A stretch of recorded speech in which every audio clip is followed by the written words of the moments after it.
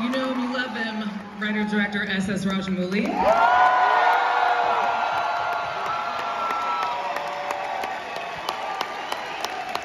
The one and only Aluri.